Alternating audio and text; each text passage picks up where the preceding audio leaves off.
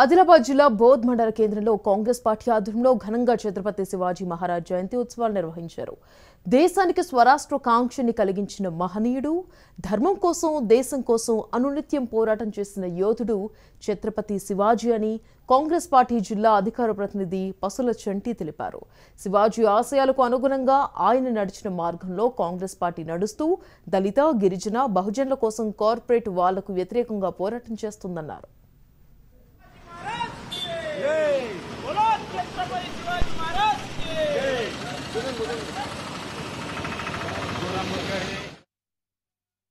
అవుతున్న భారతదేశానికి ఐక్యత అవసరమని చెప్పి స్వతంత్ర సమర కాంక్షను పోరాటపటిమను తట్టిలేపిన బహుజన చక్రవర్తి శివాజీ మహారాజ్ ఛత్రపతి శివాజీ గారి మూడు వందల తొంభై రెండవ జయంతి సందర్భంగా మేము ఇలా ఈ కార్యక్రమం చేస్తా ఉన్నాం.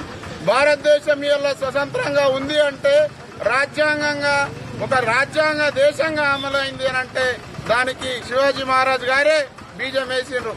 ఆనాడు స్వరాష్ట్ర ఆకాంక్ష కొరకు మరాఠా సామ్రాజ్యాధినేతగా ఎదిగి ఇలా భారతదేశానికి స్వతంత్రం రావడానికి దారి చూపించింది దిక్సూచి శివాజీ మహారాజు గారిని ఇలా మేము చెప్తా ఉన్నాం.